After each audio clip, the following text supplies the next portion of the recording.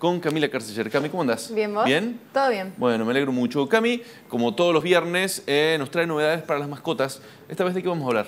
Esta vamos a hablar de la primera visita al veterinario. Ajá. Porque yo, como muchos me imagino, eh, no sabía ciertas cosas que hay que preguntar a la hora de ir, de ir al veterinario. Que cuando tenés un cachorrito y lo llevas por primera vez a, Claro. a- a la consulta. O a control cuando son perros más grandes que necesitan hacer sí o sí control anual Sí. para revisarle todo, como la persona cuando va a hacerse el- con los controles eh, anuales claro. justamente. Sí. A los perros también, a los gatos también, eh, hay que hacerles. ¿Qué, qué- hay que consultar? En este caso lo llevamos a Chimba Sí. para ver Ah, específicamente... Chimba ya es famosísimo, ¿no? Lo conoce todo Tucumán. Chimba ya es famoso.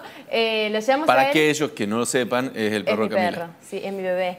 Eh, A veces viene acá también a la redacción, anda, anduvo acá la semana pasada. Sí, escribe todo con nosotros. Ah, ¿sí? También. No sé si está bien, pero... Así vamos a vender más diarios, ¿no? Sigue diciendo eso, vamos a vender más diarios. Eh, perdón, gerencia. Vamos con...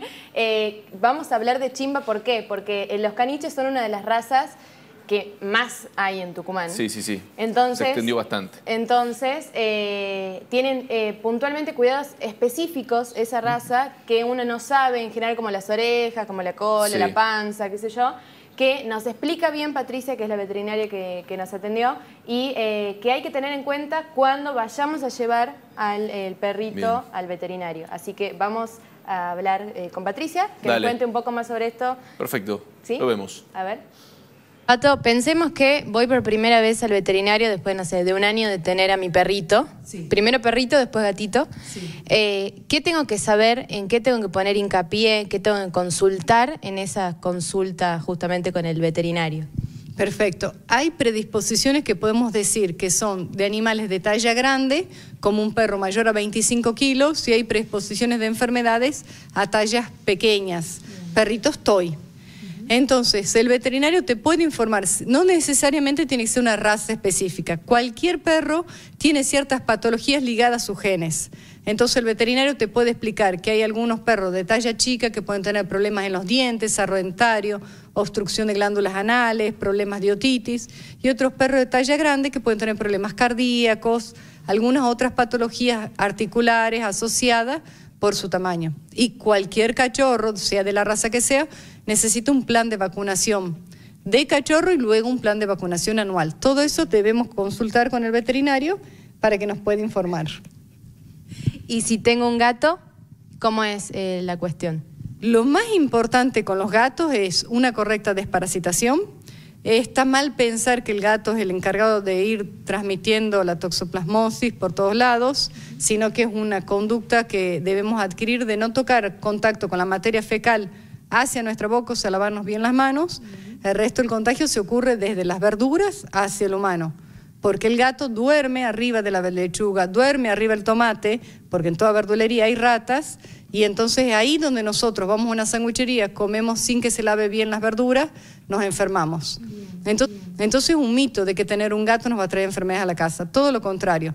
Los gatos son mucho más higiénicos que los perros, tienen un, manejo mucho más fácil porque no se enferman tanto. ¿Necesitan un buen alimento? Sí. No pueden comer alimento de supermercado, de forrajería, porque hacen cálculos uretrales. Pero partiendo de eso, es muchísimo más fácil tener un gato saludable que un perro saludable. Necesita menos cuidados. Bueno, está Cami, ¿no? Alguno de los- algunas de las recomendaciones importantes a la hora de llevar tu mascota a- por primera vez al veterinario. Así es, cositas como la de las orejas, que le decía, la de la cola, y eh, que uno no sabe, yo no sabía y tuve perro toda mi vida, eh, que hay que tener en cuenta y que ellos también les pueden dar enfermedades como la otitis, por ejemplo, Claro. la de la oreja, o Sí. podés evitar el cáncer, Sí, sí, eh, como con el tema de la castración. Claro, Son claro. ciertos cuidados que hay que tener en cuenta y Lo de gato me pareció interesante, ¿no? Eh, Esta cuestión de derribar algunos mitos, el mito de la toxoplasmosis. Yo hasta que escuché esto, sinceramente creía que eh, convivir con un gato aumentaba los riesgos de tener esa enfermedad. No, dice que no, que, que vivir con un gato es mucho más saludable y, y limpio. Higiénico, Al sí. contrario de lo que muchos eh, pensamos, porque uno, al- algunos tienen rechazo a los gatos porque te da como impresión. Eh, pero no, pero no, Bien. evidentemente es más saludable vivir con, con un gato. Y ahora, eh, aclaramos también que queremos hacer a partir de ahora los cuidados de cada raza, Ajá, porque son bueno. muchas las razas que hay Claro. en Tucumán y eh, para que la gente aprenda justamente y si tiene alguna duda también nos consulte Perfecto, y nosotros claro, nos escriben y, nosotros eh, tratamos de, ayudarles a resolver ese problema. ¿eh? Una cosa más quiero resaltar, la ganadora del primer premio de la semana pasada del concurso de mascotas donó su, su premio a una señora que tiene mm, adoptó un montón de, mascotas y no tenía cómo sustentarlo. un gesto, ¿eh? Así que, así que lo donó una felicitación al Para ellas. Sí, y, ¿eh? ya lo fue a retirar. bueno, buenísimo. Cami, muchísimas gracias. Buen fin de semana.